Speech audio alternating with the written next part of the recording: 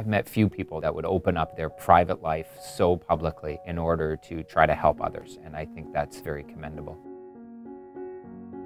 She faced a lot of adversity growing up in a a household that had a lot of challenges, including, you know, living in poverty, living in an abusive relationship, but she's been able to take those experiences and translate them into what can I do for other people to help them not have to go through what I went through. I met Attiya when we were both working at YWCA Toronto. At that time, she administered the December 6th Fund for women fleeing domestic violence. She was working to try to get them access to the interest-free loans and then helping them escaping abusive relationships. In the case of The Making of a Better Man, she just decided she hadn't seen the story she wants to see, and so she decided she was going to have to tell her own to get the story out there that she would like to have out there. Attiya has done something extraordinary with this film. She has taken control of the story of what has happened to her.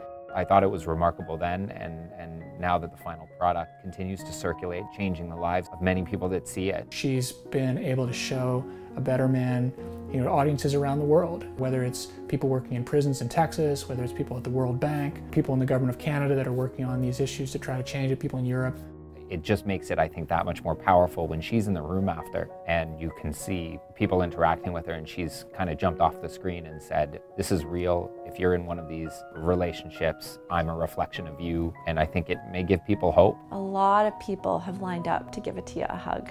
I think she's been incredibly courageous and incredibly generous with her experiences and with sharing them with others. Uh, T and I are working on our second film. It's about the impact of racism on the body when a woman is pregnant. When she had a traumatic experience giving birth to our son, Elliot, she started thinking about how can I change the conversation and use the fact that I've experienced them myself as a way to give back and change the world. There is no mountain she won't climb and can't climb. And I think that that demonstrates she is role model to many of us in the community. Congratulations. Congratulations. Congratulations. Attiya, congratulations on being the woman of distinction that we all know you are.